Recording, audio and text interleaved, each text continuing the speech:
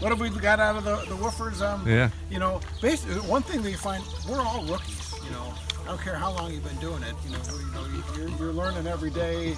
You know, you make a mistake, and okay, yep, all right, I won't do that again. Maybe you know, in the fence or whatever. But uh, uh, yeah.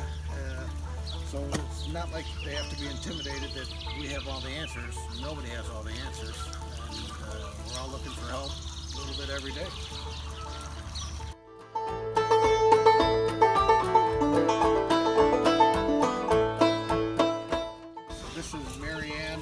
Brood. Uh, how long? Six weeks, maybe.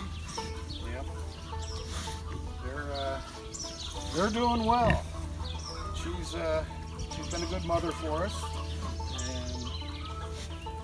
and we expect many more broods out of her. I suppose she's uh, she's been pretty good for us on uh, with Gilligan. I don't know if you can see him over there.